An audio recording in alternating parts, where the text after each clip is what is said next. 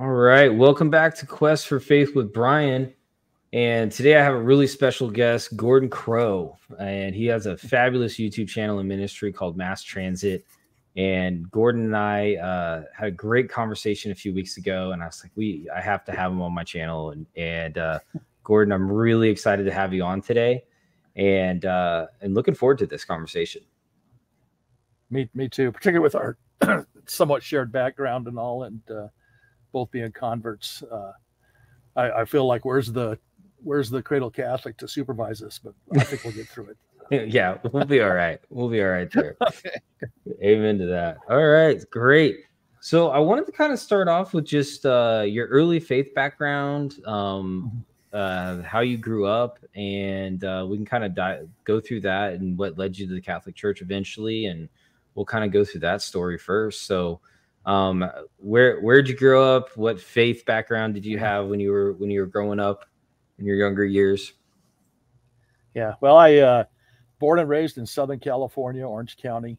Um, uh, four bro or three brothers and a sister, four boys and a girl. Jim and Midge Crow. Uh, my mom and dad uh, met at George Pepperdine College. It was uh, uh, where they met. Mom was an admin there. My dad was a student. He got off the boat after the big war in San Diego and came up to Cal up to L.A. to go to college on the GI Bill. Met my mom, and they started popping out kids. As you know, uh, Pepperdine, which you I'm sure you already knew, it's a Church of Christ college, and that's what yep. I was raised in. The Churches of Christ, same as you, uh, very fundamentalist uh, church, gorgeous, wonderful, beautiful, loving people. I was raised with the uh, love of God and Christ and the Holy Spirit was instilled in me from from day one. Uh, grew up uh, down there in Southern California. Eventually left joined the military active duty uh, out of high school and traveled around for a couple of years on that and then came back and ended up moving to the northwest um, married with a child uh, ended up in, in the tri-cities area of washington and eventually up to spokane ended up getting a divorce and uh, moving over to taking a job in Coeur d'Alene, Idaho. Uh, and that's where uh, uh, my life uh, took off. I, I, worked there for a number of years as, as a as a in a marketing position. Eventually, I was hired as the business editor of the local daily newspaper there, and I did that for about three years. and then the uh, uh, local uh, party drafted me to run for the state senate. I ran for the state senate. I was a state senator for three terms in the Idaho State Senate. Wow. I was remarried by then. We had adopted a new son, Andrew, who's now 31. He'll be 31 this year. Um, told my wife when I ran that uh, when she wanted me to stop running, I'd stop running. And in 2000, she says, "Don't run for reelection." So, so I didn't. I followed yeah, her yeah. Uh, her request on that. She was Lutheran, by the way. Uh, I'd left Churches okay. of Christ, and uh, when I married Sandy, we got married by a Lutheran pastor in an Episcopal church in Coeur d'Alene, Idaho, and but I, I adopted the Lutheran faith and, and it was that for about 30 years. Um, so when you were growing up, real, real quick, let's uh, so I guess so until you met your your second wife, were you still going to Church of Christ or um you know, I I no, no, I was, you know, when my first marriage started falling apart, I went to a couple other uh uh Protestant denominations, and then I really wasn't churched for a few years. Um, I always believed, I always believed in God. I talked to God and Christ quite a bit, uh, petitioned the Holy Spirit pretty regularly. My life was kind of miserable at the time. Um, and uh, then when I met Sandy and she had a faith, she was committed to the Lutheran church, started going there. Uh, originally, she went to the Missouri Synod Church and uh, in Coeur d'Alene. Her parents were charter members at an ELCA church in, in Coeur d'Alene. So we ended up going there and okay. we were members there for a number of years um, on that. Um, I, my the hard wiring of Church of Christ was always in me, still yeah. is to a certain extent. Yep. You know those uh, doesn't those, leave uh, guitar strings twang loud. Yeah, yeah, yeah, yeah. And, uh, it, it's it's really interesting uh, when you've grown up with a faith background like that, and right. you do see it kind of color a lot of the the ways that you that you even think about your faith. Mm-hmm. Um, and I think even for me, it played just a massive role because the Bible had to be first. It, like I had to find everything about Catholicism mm-hmm. in Scripture. Um, but but I mean, for for you growing up, uh, so your parents met at Pepperdine, and then you're in Orange County, and I know there's some there's some decent pockets of Church of Christ down in Southern California. The it's yeah. it's not as crazy as as Texas and Kentucky and uh, in other uh, yeah. parts of the country, but there is some decent pockets, and yeah, um, and I I think one of the things that always um I, I think you t- you touched on just a, a, great people to be around, and mm-hmm. That was my experience generally growing up. Um, it, it was uh, very family oriented. Um, mm-hmm. Going to church three times a week. Uh, was yeah. that kind of your experience too? Yeah, absolutely. Twice on Sunday, Wednesday nights. And then when I became a teenager, there was youth group activities on, on, on top of that. I, one thing I experienced, I don't know if it was the same for you, but thinking about it, when I was on another show being interviewed, I thought, you know, until my mid teens, until I kind of emancipated myself and kind of, you know, started wandering a little bit, um, all of our friends were Church of Christ. Yeah.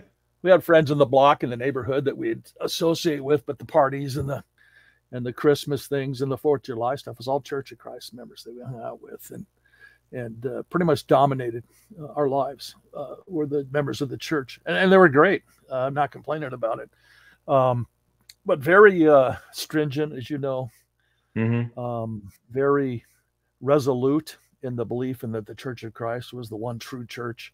I had somebody yeah. ask me once if uh, if you're raised to be anti-Catholic, and I know a lot of Church of Christ people were. I I don't recall having been raised to be anti-Catholic as much as I was raised to believe that, or I came to believe uh, that anybody right. who wasn't Church of Christ wasn't making the wasn't making wasn't doing it right. I mean, yeah, yeah, yeah, and so uh, so I, I, had no animus towards any non-church uh, non uh, Church of Christ church. I just thought the poor souls, you know, we got to get them into the it's the right mm-hmm. church. But uh, so I went along with that. I tried. I would even uh, my first marriage was in a four square church.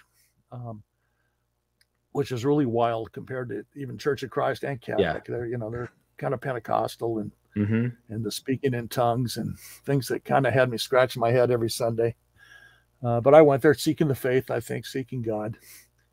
Um, Church of Christ uh, still looms large in my life. I, my next youngest brother, I, he lives nearby. We winter in Texas for a few months down here before we hit the road again, and he, uh, he's an elder or deacon at their Church of Christ here their preacher there, uh, their minister there, and I became good friends. He's gone to Arkansas to take another job. Um, and my relationship with the members of the Church of Christ, including my own family, is really comfortable for them and me. They just never bring it up. If yeah. they bring up uh, they bring up a topic. Uh, you and I have talked. I've, I've I've come to you about the 400 year silence uh, in the prophets and the apocrypha, and and uh, um, they just don't bring up that. that might, you know, I had a relative who brought that up, and they're sorry they did now because I've studied up on it. so, right.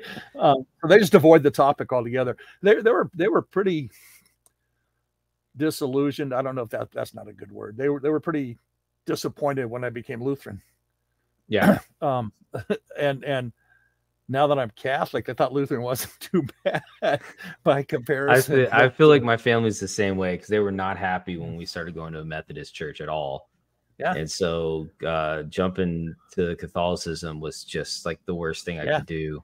And, and you're yeah. right. Like they don't want to talk about it. My family doesn't. Like, and I want to talk about it because it's, yeah. I mean, come on, I got a YouTube channel. I'm always talking about it. It's always on the forefront of my mind is my faith. And, uh, yeah. And, and, yeah, it's, um, it, they never want to engage. And then they're always shocked when I come back with theological discussions. Right. And they're like, wait, Right. You're and making say, sense. And then the they want to change the subject. The potatoes, yeah. Yeah, yeah, yeah. yeah. Yeah. God, and I just pray for him constantly. I have a I have a list of uh, people I pray for every day. There's about 60 people on there now for the devotions and prayers I do every morning, and every member of my family's on there. Um and, and pray Good that the you. Spirit moves on them and brings them into the one true, holy, questions. and apostolic Catholic Church. And and yeah, yeah. Just, or either if you're not going to make me a resource for them or a bridge for them, make sure I'm not a, a, a tripping Hindrance. block for them. Or yeah, yep, hundred percent. Yep. So that, that, time uh, in between before you met your wife and you're kind of stumbling around with your faith. I mean, I I, I did go through a period like that myself where mm-hmm. um, we're just having a rough rough time in life, and uh, I, I didn't really start leaving the Church of Christ until uh, how old was I? I don't know. Uh, I was late twenties, early 30s mm-hmm. Um, is when I finally was just I, I couldn't handle it anymore. Um, mm-hmm. But but it was interesting for me because I always still felt the call to go to church. I always felt God mm-hmm. like you should be going to church um and but mm-hmm. i you know it was having that that really struggle of trying to get myself to do that. Uh was that kind of your experience during that period of time? It was until i got married and started going to lutheran church full time i went from you know i, I joke um but it, the joke will land with you. I used to I, I used to tell people that i was raised in a church that thought the only unforgivable sin was all of them and, yeah and then I went from that and ended up in ELCA uh, Lutheran, which was uh, the epitome of hyper grace. They still are. Eventually, um, the uh, modern maladies and and and challenges that are coming to all these Protestant churches landed at ELCA. They started uh, ordaining uh, uh, people that didn't need to be ordained. They yep. were already ordaining women, which I always just swallowed and accepted. Um, but but then people with lifestyles that are inappropriate and and started. I remember in our Lutheran church once uh, we had a big congregational meeting in the in the nave in the in the main part of the church and it was full and people. I was one of a small minority who opposed the ordination yeah. and certain moves that they were making and the pastor called me out. I didn't expect this, but he said, uh, "Gordon, you oppose this. And he looks from the pulpit up at the altar and points at me and says, You you oppose this, but you've been divorced and remarried. And God said, That's a sin too. And I said, Pastor so and so, that's correct, but I'm not organizing a bunch of Lutherans to say it to come together now and say that it's not a sin and that yeah. it is okay. And and and Ooh, that's a good that was answer kind of off the top of your head. Kind of pushed me a, aside from it, you know, and so this is the way they're born. And I said, Well, to be frank, I'm with original sin. I'm born wanting to pay attention to more than my wife. And yeah. so, but I don't because I know, uh, because one, I love my wife, and two, as I love God, and He doesn't want me doing that. So there's all sorts of natural inclinations we're born with. I don't want to get into that debate here. Yeah, yeah. But, uh, so ELCA, um, I can remember a dear, dear friend Paul in Idaho, North Idaho, Coeur d'Alene, driving back from a regional conference with the ELCA from Spokane back over to Coeur d'Alene, and just both of us so distraught um, over the direction the church was going in. Uh, interestingly, uh, we both left ELCA. Uh, when I left uh, um, Minnesota some years later, uh, we went to uh, Wyoming, where I took a job with the Chamber of Commerce there in Laramie, Wyoming. Ended up finding one of the LCMC, one of the breakaway uh, denominations within a Lutheran church. Ended up going to that church, um, much more fundamental in their point of view on things. Obviously, they broke away from the LCA because of those political, social political issues at the time. Mm-hmm. Anyway, I uh, jumping to the towards the conversion here, and then I'm happy to answer any questions. We're both yeah, former. Church of Christers. We probably go on for days talking about yeah. Uh, uh, great stories from them, but uh, I, I cast my net. I had uh, started in nonprofits with the chamber there, and it turns out I was pretty good at running the chamber. So I kind of thought, well, I'll cast my net out there, and I sent resume, resumes around the U.S. Got a bunch of calls back. Ended up down in Houma, Louisiana, um, interviewing for a job for the county chamber of commerce. They were running that. They hired me and brought me down, and uh, I'm just going to do the cliff notes on this, and you can come back and yeah. talk me through what you want to know. But uh, I got down there and realized that about 60% of the county, the parish, they called it. Yeah. About 60% of the parish was Catholic, and about 80% of my board were Roman Catholic. And I was down there four or five months ahead of my wife, head of Sandy.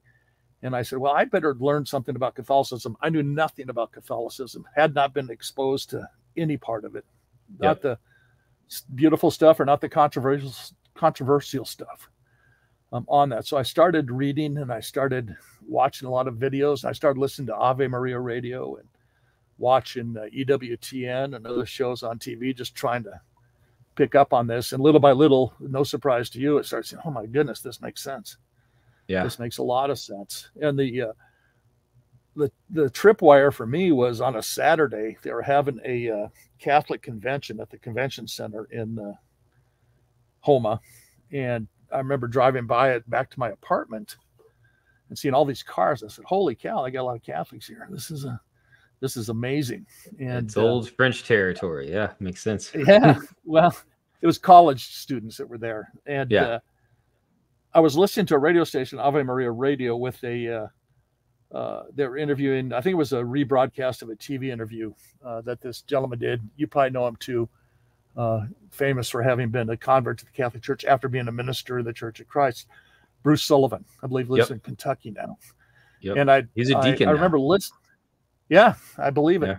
I remember listening to him uh, through the whole interview. I was driving around town on a Saturday by myself. I remember I was going by that convention center, seeing all those cars. I remember him.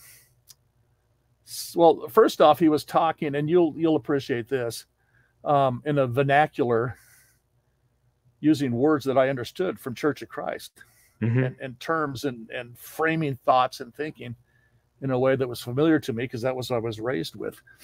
And I used to joke until I met you um, that I thought we were the only members of the Church of Christ that didn't have a Southern accent uh, because there's definitely has a, his Kentucky accent there. Yep. And so it just it just struck home with me. And at one point, I thought I heard him say, uh, the interviewer says, "What what was the final straw that brought you into the church?" And I thought I heard him say, "You know, I decided. I asked myself if if the Catholic Church isn't the church that Christ established on Peter, why would I not want to be a member?" And I remember thinking, "That's profound. If this is the church that Jesus established on Peter, why wouldn't I want to be a member?" Yeah. And I remember driving back to my apartment, probably two or three weeks late, two or three weeks later. It was a Monday morning. I was heading to, to my office, it was less than a quarter mile away. I remember where I was on this turn going around this golf course. And I remember thinking, I believe it. Yeah. And Bryan, it was it was the Holy Spirit. Um, you know, I know you read the church fathers, and I know you read a lot of history. Um, my conversion was was so simple and so comparatively uh, juvenile compared to a lot of other people who have done all this heavy lifting and all this heavy study. Because once I once I believed that, I just had to walk through that little door yeah. into the Catholic Church. And you know, people talk about how big the Catholic Church was when they're studying it. Well, I didn't see that until I walked through that little door. It was like, holy moly's, look at this place. This is massive. And, and well, uh, I think I think a few things there. I mean, I wouldn't say it's yeah. juvenile at all because I mean, obviously the Holy Spirit was guiding you. I mean, God got you that job down there. And then all yeah. of a sudden you're like, oh my gosh, I'm around Catholics. I've never been around Catholics my entire life, right? Mm-hmm. Like you have no idea. And and just the fact that it was probably a number of things, right? You're you're listening to you're like, I got to figure these people out because I'm gonna mm-hmm. be in relationships with with with these. I got to work with with these individuals, and obviously their faith right. is big because I the, even the fact that you knew that they were mostly Catholic, right? Like mm-hmm. that that shows that they're living their faith Mm-hmm. And so then under like going, well, okay, well, what is their faith? Like, how am I going to relate to these individuals? And then starting to listen to, I mean, there's so many great resources and, and mm-hmm. the Coming Home Network, which is, I think that broadcast that they were, uh, I, mm-hmm. I've watched that one. I think I watched it two or three times and bought his book and read it too with, with, yeah. uh, with, with, uh, with Deacon Sullivan there. And, um, I mean, it, it was working on you that whole time. It, mm-hmm. it wasn't a, a, a, switch that flipped. And I mean, I don't know how many months do you think that was that that was uh, going on before your wife moved down there, or was your wife well, down there I yet? no, no, no. I think she followed me down like the next month. Okay. Maybe it was my second month down that this happened. And then three months later, I went to New Orleans and picked her up on a Saturday, brought her back to Houma. Um, was she like, "I'm never leaving you again"? when I leave you, you well, leave the, the, Lutheran faith. Just kidding, but yeah, the funny story was is uh, um, I picked her up at the church. Between that and her coming down, uh, it became quite obvious. Uh, but let me back up. When I first took the job, her brother was a uh, big in the restaurant industry in the South and the East Coast, and excuse me, he Sandy so I was taking the job, job in run to the Chamber of Commerce, and her brothers told her, and she repeated me, they never hire out of the area. They always hire their own people. It's kind of remarkable that they would hire him. And uh, uh, so they always, you know, they always hire local or people that know the South. And New Orleans is, a, you know, Louisiana is such a wonderful place. I think I've said before, they're the nicest, kindest, uh, most pleasant, least healthy people on the face of the earth. They're just yes. wonderful. and I just adore them to this very to this if day. any people have never been to Louisiana, that is a great description of Oh yeah. Yeah. Uh, I don't. Yeah. I don't think I knew to. Texas I don't. So long. I knew a lot of Louisianans. Yeah. And yeah. Yeah. Yeah. The uh, I, have often said um, jokingly, uh, Mother Church. I'm not serious about this. If I ever became suicidal, I would fly to New Orleans, and eat myself to death, and die happy. it's yeah. the best food on the face of the earth. But nice people. Anyway, um, at odds with my employer. Turns out her brother was right. It was God who got me that job down there, like you said, and took me down there for this. Um, I it was I didn't like the job.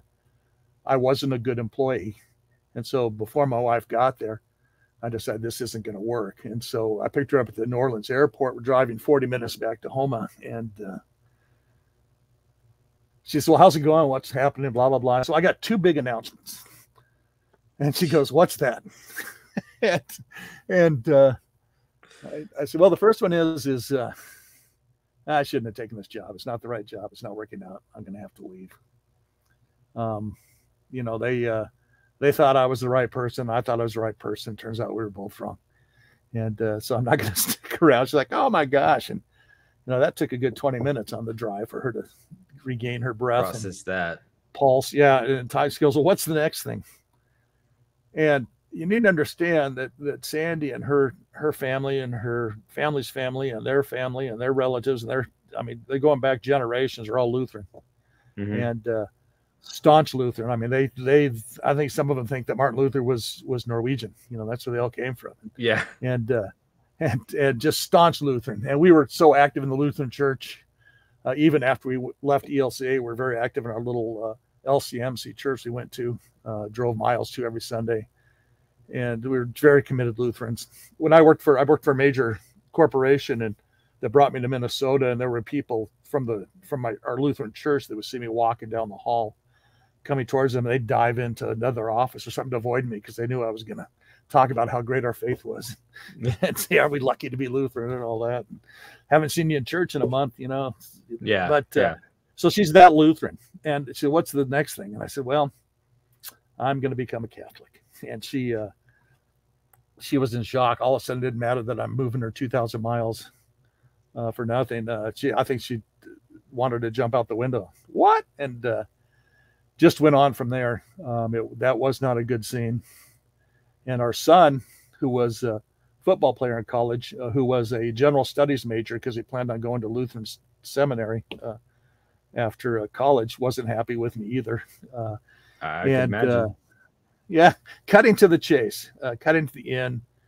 Um, I got to the point where one day I was just uh, uh, heard somebody say about give give the parenting of your children over the blessed mother, and so I did that in a prayer. I said, I said, Mary, parent him, lead him to to your son's church, and I did the same thing with my wife. And uh, again, the the 2014, I was received into the church. In 2017, our son was. In 2019, our my wife uh, entered the Catholic Church, and so we're all there now, wow. which is kind of neat. But uh, that was my conversion again. Real simple. All the all the challenges that I was confronted with, If I came in with Mary, with the Eucharist, um, and transubstantiation, and with uh, the authority of the church, and with tradition, all that. All of that wasn't easy to be confronted with. But Bryan, my answer was simple said, Oh, this really bugs me. But this is the church that Christ established yeah. on Peter. And so I was able to kind of bulldog my way through those and get through those. And it's getting easier. Yeah, and I think I learn more. Yeah, for me, it, it was I I completely understand, and that's living by faith. You mm-hmm.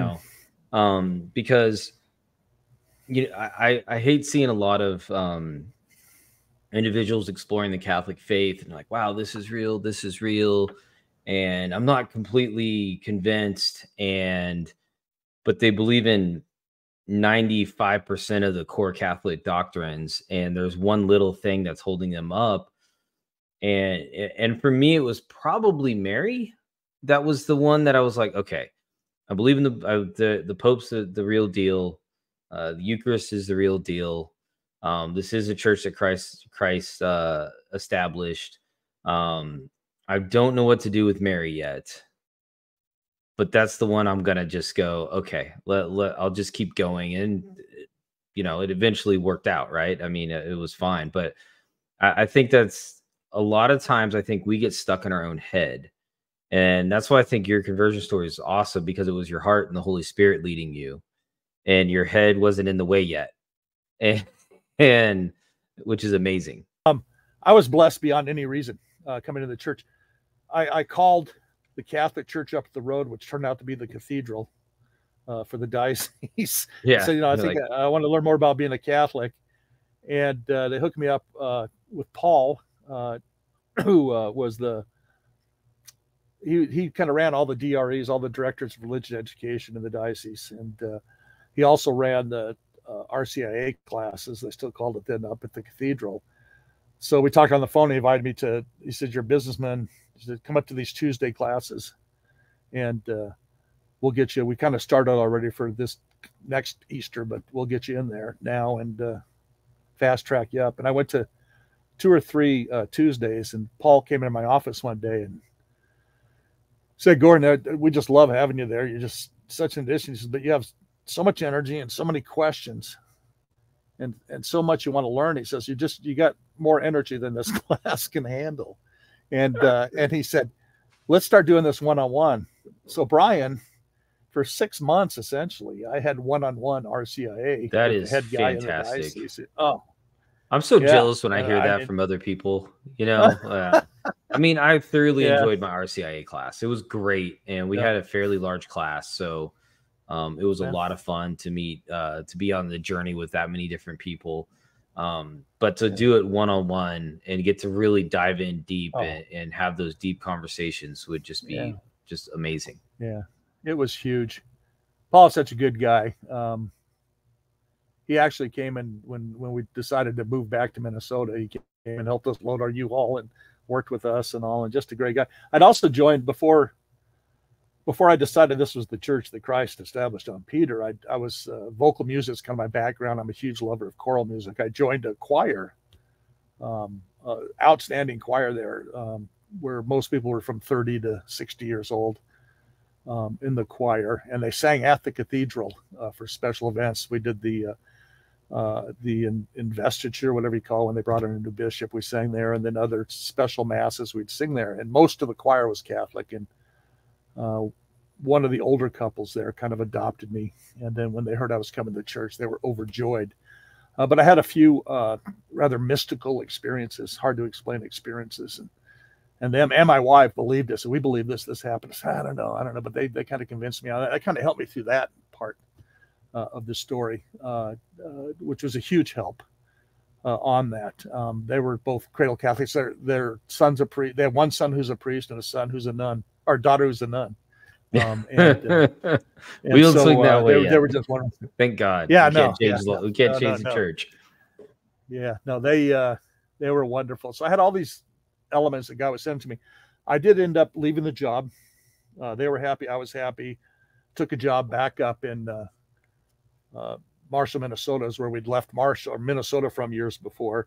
Actually, I took a job running the foundation for a Catholic hospital a regional okay. hospital there. Went back up. Last two or three months of RCIA was at the church there um, in Marshall, Minnesota, Holy Redeemer Catholic Church. Uh, Father Paul Wolf uh, was the priest, uh, very uh, upstanding, uh, very regal kind of fellow, born and raised in Minnesota, been a diocesan priest his whole life. I think is in his around 60.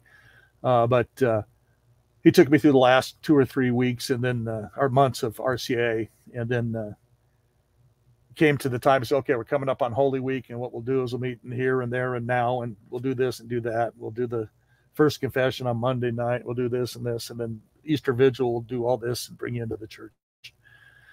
There were three or four other people, five other people in the cl- class. Um, I told Father Paul the week before um,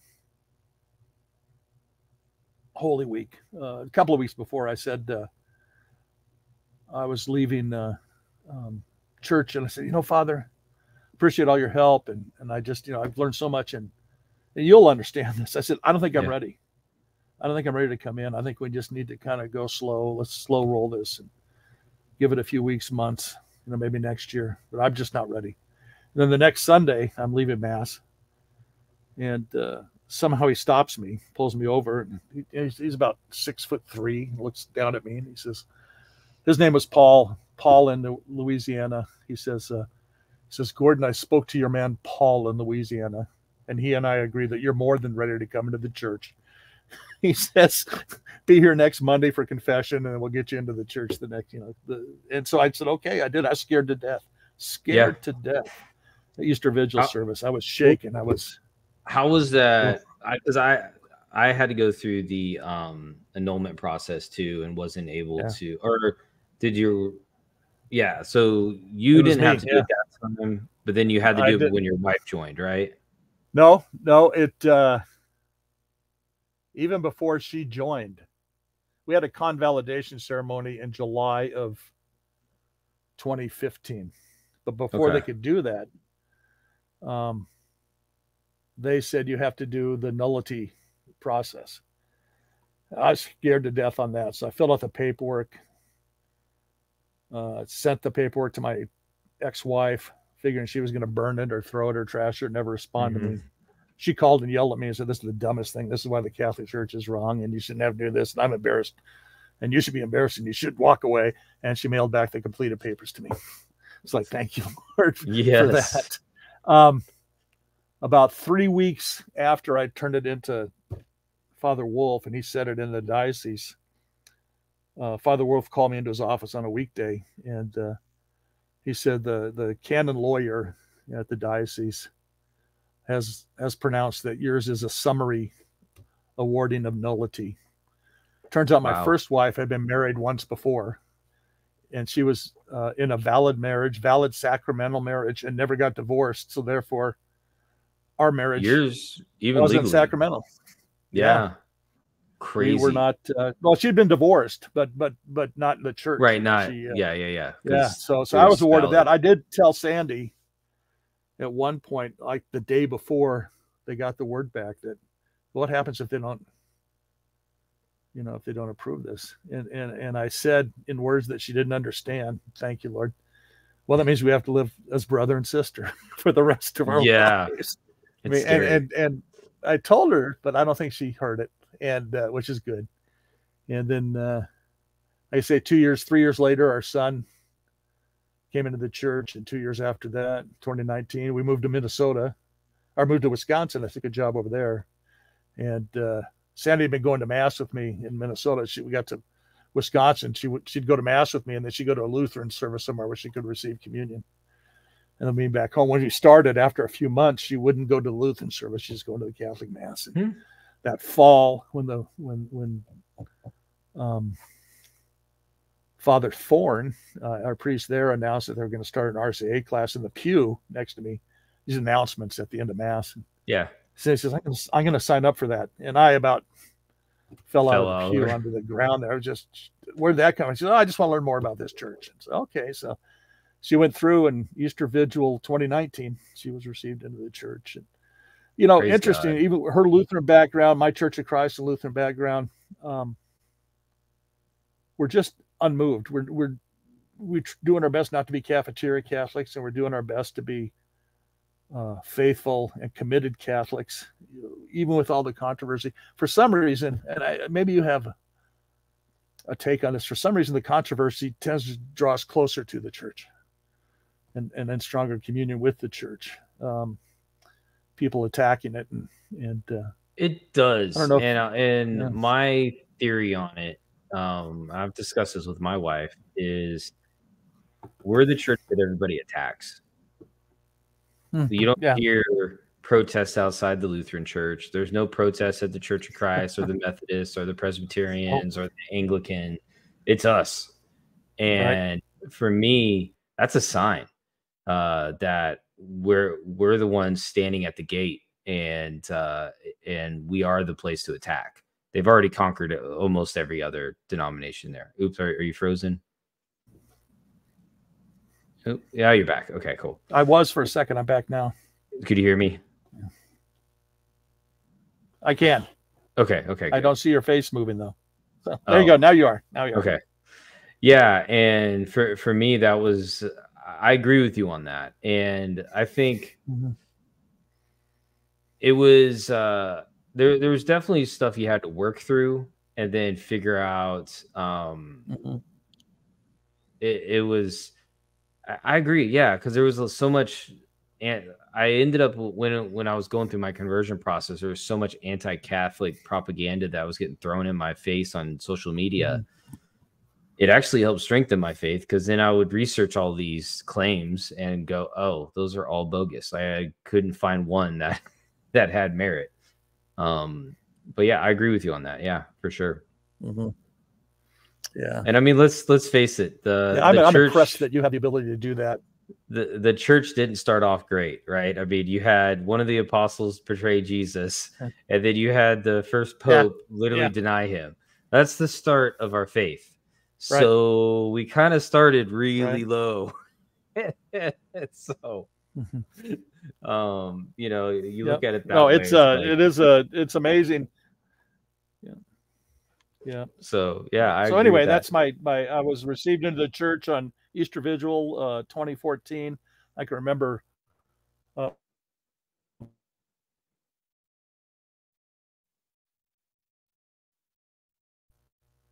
I remember Yeah. walking down to receive the Eucharist for the first time, and that was the first major emotional experience I'd had after after the confession, but uh, general confession. But that just receiving that, walking up and and Bob Offenthy, I remember Bob, retired insurance guy, holding it up, and I was just just amazed by that. yeah And uh, Yeah, the um first we are. confession for converts is a uh, awful one. Yeah, it's just nerve wracking. Like I, I don't know about you, uh, totally nervous, so nervous, and, I'm the type of guy that if I'm doing something I'm really nervous about, but I know I have to do it, I just dive head Mhm. first to get it out of the way. It's like ripping a band-aid off Mhm. was my thought process on it. And so um, we had the option at our parish to either sit in front of the priest or Mhm. sit behind the veil. Like we could do either Right. either of the screen, we could do either one. And I was like, for this one, I'm sitting in front of the priest. Like I have to just completely. I did the same. That's what I did the same too. thing. Okay. yeah, Yeah. Father Father Paul, he's just a magnificent shepherd. He uh, um, he he told us all, pulled us all aside the week before, the last week of RCIA, the week before. And he said, uh, you know, I don't know what he said to the others, but to me, he said, you know, I was coming up on sixty, and uh, he said, uh, uh, I, I told him, you know, that I don't think I'm ready. I got a lot to deal with. He says, Gordon, I know you got a lot of life behind you and all that. He said, his first general confession, he was the one who told me in a roundabout way. He says, just hit the high points. Said, I don't need everything. He said, I, I've done this 10 times. I've done that 12 times. I've done this. I've done that. And it was wonderful. And in the, uh, it was a horrible experience, like I said, or, or a terrifying experience, but I think you'll agree with me too. It was the most terrifying and the most uplifting. Yeah. experience As soon as you walked out, you literally felt the weight Oh. off your shoulders. You, you was literally insane. did. I yeah, I was in front of him. I just cried, and he uh, we got up to leave, and he thanked me. And uh, he he's not the emotional huggy type, uh, which I like. but we were walking out, and he kind of stops me. I was facing him, and he steps, stands up, shakes my hand, and uh, which I thought was a real overt uh, emotion for him. But he says, "Gordon, I got one other thing." He gave me my penance to do, and you never think it's enough, but. Uh, he's got one other thing to, to tell you. He says the, the one thing you need to do is learn how to forgive yourself. And boy, he was right on that. It took a while. Yeah. He says, God I- I forgave s- you. Yeah. I think we all as Catholic, I think as humans, we we have a really hard time to forgiving ourselves for things that we've Right. done and our stupidity. Um, and I think that's that's something that we all struggle with. And to know that Christ has forgiven us, our Lord's forgiven Mhm. us, so we can do it Mhm. too. And uh, I think that's a beautiful thing. So with um, so your wife coming in, which is absolutely fantastic that she ended up Yeah, following you in um because i've i know i that's got to just be a real struggle because i've talked Oh, with several people that have reached out that are kind of in that same boat where they are looking at the catholic church or they are catholic and their spouse isn't and having to to balance that and it's really difficult but with your son what ended up was it just you don't have to go It into was all a- of his it was the Holy Spirit. story Well, but Eh, but it's just a it's a it's a beautiful story too. I, I tell you, you know, we talk about God sending us to Louisiana. He he sent us to Minnesota, and then in Minnesota, I had a corporate job, um, really good paycheck, and we lived about a block and a half from the Catholic school in town. And I thought, well, we'll send our son to parochial school. Then we were Lutheran. Uh, he walked by our Lutheran church to get to Holy Redeemer Catholic School in Marshall and he went there from third grade through eighth grade. And Bryan, I have to think, um, you know, that's that's where they, you know, where the Holy Spirit Spirit first entered him The with regards to the were- Catholic Church. were- Yeah, planted at that point he uh, more than once he'd he'd be all distressed and he'd go running up to the church to pray in front of the grotto of Mary there, and uh, wow and so, you know, but he was still a very Christian kid, very Lutheran kid. Um, he was baptized in Lutheran church. We adopted him as a newborn. Uh, I have an adult daughter from my first marriage. She's 47 this year, and uh, she's Protestant. But our Andrew was uh, uh, baptized in the Lutheran church, uh, two weeks old, and uh, raised Lutheran, uh, faithful Lutheran, passionate Lutheran. Uh, one of my favorite stories, we put him in a classical Christian academy for preschool and first grade. And uh, um, the, the, the pastor at the Lutheran church he went to just loved Andrew because he'd participate in the children's sermon. The pastor called him, he'd have an answer. And after he'd been at classical uh, academy, Christian academy for a few months, the Sunday sermon was about the uh, putting on the armor of God. And, and, and Pastor Kurt said, asked the kids, uh, why do we put on the armor of God? And he kind of looks around and he just calls on Andrew, knowing Rue would, would call him Rue. Uh, they knew he'd give him an, an answer. And Andrew stands up and, and said, why do you, you know, why do you put on the armor of God? And Andrew stands up and says, to protect us from the flaming arrows of hell. And, and I thought that was wonderful. The whole congregation cracked up. Well, he was that way. He went on through very faithful Christian Lutheran, uh, went to University of, uh, we, I took a job his senior year of high school in Laramie, Wyoming. He, uh, on his own choice, he left a state football contending program in Minnesota and came to Laramie, which probably had the worst high school football team in the history of high school football his senior year. But he was seen by the University of Wyoming uh, Cowboy football coaches okay playing in local, and they asked him. To, he was a preferred walk on. He came onto that program. And I played there for a couple of years, and then we went to Louisiana. The the the apron strings were still tight, and he came down there, and uh, Nicholls State recruited him, which is very Catholic. It's a public school, but very Catholic. And uh, right I think all these experiences. We were heading. We used to head up. We were about 50 miles south of him. We head up on weekends on Fridays when he wasn't football season, and pick him up, bring him back to Houma with us, and uh, spend the weekend. And I was so pumped about being a Catholic that I would share stuff with him and his mom. And one Friday night drive back, Andrew just started yelling, or just yelled out, "Quit telling us about the Catholic Church. We don't want to hear about. We're not going to become Catholic. Just stop." and his mother, his mother, um, uh, uh, validated that by going, "Yes, stop." So I just stopped. That's when after that, where I prayed to the Mother Mary and said, "You know, work on it." Yeah. And then they they came along. I think though it was the the Holy Redeemer Catholic School in Marshall, Minnesota. Give him a shout out for that. I'm sure that instilled Yeah. something in him. And then he he finally um, we went on a uh, men's retreat retreat one weekend when after he decided to come into the church and uh, Emmaus weekend. And. Uh, uh, he went together and they were asking people to get up and say a few words and he got up just without us even discussing it. And, and they uh, they said why are you coming to church? He goes two reasons. He says uh, one is i don't believe jesus is a liar when he said you're peter and upon this rock i will build my church and he said if, if it's not true then jesus is a liar and then uh, and then the second thing he said, which just slays me to today, he goes, and I like the way the church has changed my dad. Wow. And he's become a better father and husband uh, from being in the Catholic Church. And so that was that was by better father and husband. he meant I shut up and let the Holy Spirit and the Blessed Virgin yeah uh, work on them. And it's just been wonderful. And he married a Catholic girl. Um, they still live in Marshall. Two beautiful little kids. I'd show you a picture, but you know, everybody be ashamed of their grandkids if they saw mine. Right, so right. Yeah. You might get in trouble for that one. So yeah. we don't want that yeah. broadcasting on YouTube. So that is yeah. that is an absolute beautiful story, and I and I don't oh, think you need to say at all that it was um, you didn't have to go through the you you did the thinking part second. Um, I, yeah. I think I think that's uh, that that literally is the Holy Spirit and God guiding you through that entire story, and I think it's absolutely beautiful. Yeah. Oop. Yeah. So kind of sketchy. I, yeah. I want to go into uh, what you're doing now. So I think yeah.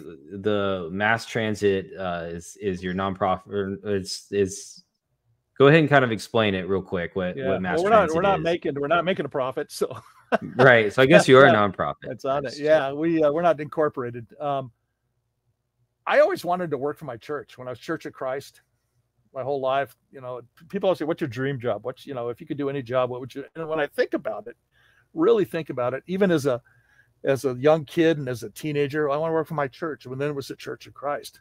And then later on, what you know, for so many years as a Lutheran, I always wanted to work for uh, for the Lutheran Church. I want to do something for my church. And uh, even if it was just that, you know, every every church, Catholic, Lutheran, Church of Christ, they all have that one guy who always shows up to fix things and do things and mm-hmm. work on things. And if if he or she weren't there, or the couple weren't there, that, that cost them hundreds of thousands of dollars in maintenance. I said, I want to be that guy that yeah. you know comes up and talks everybody's ear off until they're blue in the face, and uh, they tolerate him because he's helping the church. I wanted to be, be that guy, so I always want to work for my church. And we started before we um, took off in our motorhome. We we live full time in our motorhome, as you know. Uh, I don't think the viewers know that, but we travel around the U.S. from parish to parish, doing these videos episodes on uh, churches. Uh, but first we decided to live full time on the road when we retired. Uh, that was June 30th of 2022, and uh, um, and after that we decided we'd do a YouTube channel. Uh, there's a whole circuitous story about how we decided to do a YouTube channel, but then it's I'll do something for the Catholic Church. The original concept of mass transit, Bryan, was that I'd go from mass to mass, I'd I'd film uh, uh, priests and deacons uh, giving homilies, film homilists giving homilies, and then sit mm-hmm. down later that day or the next day with them and do a deeper dive. I was always impressed by the fact that even the best homilists in the church um, never have enough time to dive in deep. It's not like a Pentecostal church where the right. sermons go on for two hours, for and that, and that the, yeah. the, and, and it's yeah, it's not the cent, it's not the centerpiece of the mass. Mm-hmm. It's not why we're there. So I always thought that'd be good to do that. And then I have a spiritual director uh, who's uh, uh, Canon Mateos. He's with an order uh, that's a worldwide order, and I've forgotten their names, but he's the St. Mary's Oratory in Wausau, Wisconsin. Um, but uh, I was telling him this idea, and he said, "Oh, that's very good, Gordon. He's from Brazil. I don't, I don't do his accent; that'd be offensive." but, uh, but uh, he says one one session we had, he says, "Do me a favor." He says, "Before you come back next month," he says, "Go home and look on Facebook and YouTube. A lot of these, most of these parishes around here record their homilies and and then post them online. Why don't you go watch some of those?" And I said, "Why? I'll just do it and come back see you next month." And I watched about 20 of them. After about 10 of them, I realized who was talking. I went back the next month and he said, Well, did you just, yeah, I watched a bunch of them. He said, What'd you see? And I said, I saw that not all priests or deacons are good homilists. and, yeah. And that some of them don't have much to dive deep into after that. So we changed the format with mass transit. Now we go from parish to parish who will have us. We spend uh, anywhere from four or more days with them filming uh, all sorts of uh, filming masses and filming classes and filming socials and filming people working uh, at the parish, all aspects of it. If they have a school, we film the school. And then we put together a 15, 16, 17, up to 25 minute episode on that parish. who are they? What are they? What do they do? We um, we our, our mission is to lift up the Catholic Church by showing the beauty of Catholic parishes, and we do that by showing the beauty of Catholic parishioners. And as you've seen the channel, uh, we started. I think we've done 13 or 14 maybe episodes so far on the parishes. I'm trying to do some short subject stuff in between there to build the channel. We spent uh, four months last summer in in the diocese of Boise and filmed parishes all up and down Idaho. Uh, we've published I think three of them, and we got four more to publish. Uh, try and put those up once a month, um, and we film the film those and, and just put them up on YouTube, and hopefully we'll build some momentum and build some following where people will go and say, well, that Catholic Church is pretty cool. You know, it's not what we thought it yeah. was. Just kind of show it. And it's the biggest reward of the productions we do are to the parishes themselves because most all of them take the video and load it on their onto their website and show it to their people. Um, we have an interesting way of paying our way um, with this is when we first started, we thought we'd, we'd charge churches X amount of dollars if you want us to come on to do one of these. And uh, as it turns out, um, we were only getting invited to large parishes, large wealthy parishes, and that kind of tugged on our hearts because we're really drawn to the uh, to the smaller, the smaller ones. Yeah, and the and the ones that didn't have a lot of resources. So what we do now is is actually a friend of ours, Mary in in, in Wisconsin, um, who uh, suggests he says, "Why don't you live by faith on this?" So what do you mean? She says, "Why don't you just do a free will offerings, second offerings?" And so now we tell parishes that if you want us to come do this, we will uh, we ask that you agree to do a second collection or a free will offering the, the weekend after it's premiered on the YouTube channel so they can all see it.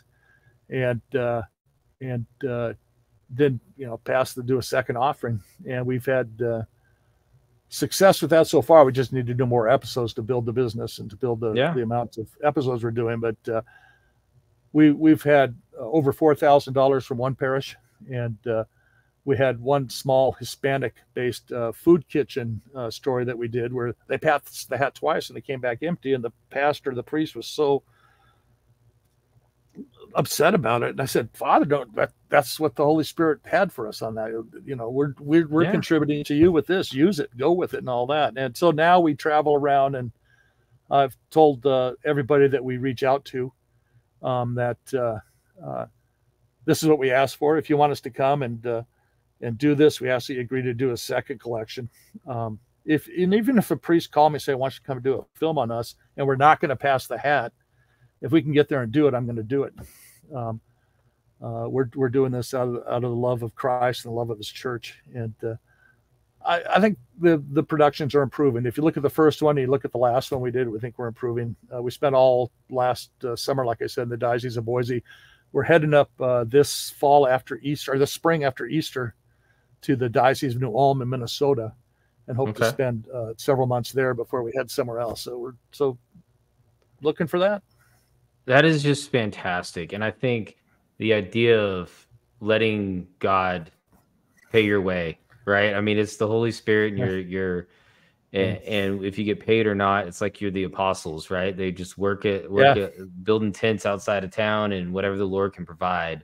Um, well, you have to learn how to trust in Jesus for sure. Yeah, my, my two most regular prayers, other than the Rosary every morning, is uh, I pray a Rosary, I pray a Divine Mercy Chaplet, which is surrender, kind of a surrender thing, and then I pray the Litany of Trust every day. And then somebody just sent me last month. I've been praying uh, it's a novena with nine uh, parts to it. I'm on my third one now um, uh, about the surrender novena. Jesus, take care of it, kind of thing. And uh, yeah, so it's improving my faith. I'm learning the beauty of poverty isn't being poor. The beauty of poverty is being poor and still loving Jesus and, and still wanting to uphold his kingdom. Well, I want to play this this clip that uh, that you sent over sure. from your channel here. So I'm going to go ahead and a little trailer on our channel. So yeah, yeah. Here, let me go ahead and oops, I can't do it. This was done before we left town. So okay. Sorry, one second, y'all. Come on, hit play. Hi, I'm Gordon Crow with Mass Transit, a Catholic lay apostolate that produces films on Catholic parish life in America for broadcast on a YouTube channel of the same name. The mission of mass transit is to share the beauty of the Catholic Church by capturing and sharing the beauty of Catholic parishes. During a recent interview, Deacon Jim Arndt of the Diocese of Superior quite wonderfully captured the calling of mass transit. Outlets like mass transit can really have the opportunity to really show the beauty of the church, to show the beauty of the Mass, to show the beauty of the parishioners that attend the Catholic churches that Mass Transit has visited. Our target audience includes faithful parishioners, those who don't attend us regularly, fallen away Catholics, and non Christians seeking a relationship with God.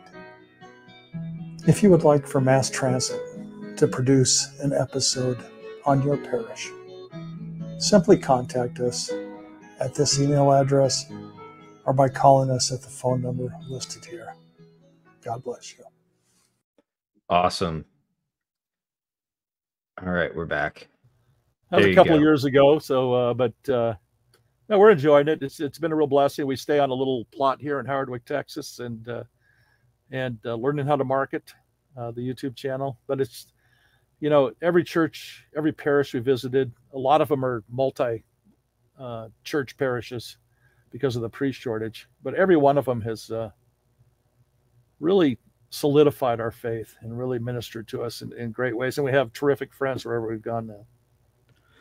Well, I want to say I think it's beautiful what you're doing. I think it's absolutely amazing. And I mean, yeah, if somebody would tell me what what's your dream job, it'd be able to support my family and working for the church. Like I, I, I agree with you 100. percent Um, and so I think it's just beautiful that you're trusting in the Lord in this. And um, everybody that's if you watch this, I please subscribe, go over to Mass Transit um, watch his videos. If you have a parish that you might want uh, him to come out, reach out and see if uh, see if you guys can get on his schedule. Um, and I think this is uh, the heart of the Catholic faith is the parishioners. That is the heart of the Catholic faith, and you're showing that in these videos. And they're getting, like you said, they're getting better and better. And I think we all all of us that have ever done YouTube or done anything like this, your first ones, you go, uh, but they you just keep working at it, keep getting better. And I think uh, I think what you're doing here is amazing, and I really uh, want uh, this to be just a successful venture for you, to where you're just sharing the lives of Catholics Mhm. and the beauty of a parish, and it's it's it, it that that is Catholic life is the parish life and I think it's just absolutely wonderful. And I think it's great that you and your wife are doing this. And uh, so, everybody, please um, subscribe to Mass Transit. I'll have links down below um, so that everybody can can get on board and, and put your support be- behind uh, Gordon and his wife uh, to be able to to continue this ministry and just spread spread the joy of being Catholic and that's uh that that's what he's doing and we need to support uh support him on this so uh gordon thank you so much for coming on i really do appreciate it uh i love that we just have really similar backgrounds and we That's really great. we the, the other day we talked for i think for an hour and a half or maybe Yeah. longer just chit chatting and uh and so uh really do appreciate it and um so grateful i was able to have you on my channel and I, I hope this brings uh, fruit. And uh, we'll just uh, everyone please pray for Gordon and his ministry, and uh, may the Holy Spirit continue to guide him and and, uh, and the Lord provide to Yeah. just spread our Catholic faith further. And thank God for Methodist and Lutheran wives. Yes, Amen, Amen for Okay. that. Awesome. God bless you, Bryan. I love your ministry too, and uh, we're all on a quest for faith, a quest of faith, and a quest for faith, and and I love what you're doing too. And I similarly hope that uh, everybody who sees this is a subscriber to yours and supports your ministry. Thank you. God bless you so much. Thank you. I appreciate it, Gordon. Like, share, and subscribe. Share this video so more and more people can see mass transit. I Thank you. appreciate it, guys. Have a good one. God bless.